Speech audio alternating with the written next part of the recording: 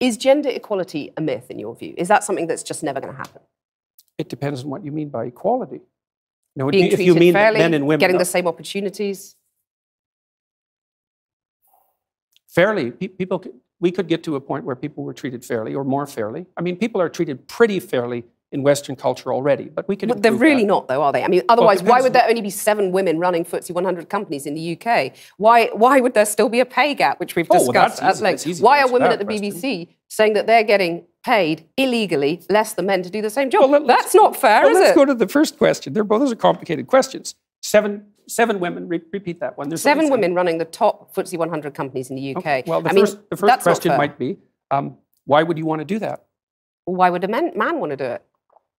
I Well, mean, it's a lot are- of there's money. a It's certain- an interesting There's a job. certain you know? number of, of men, although not that many, who are perfectly willing to sacrifice virtually all of their life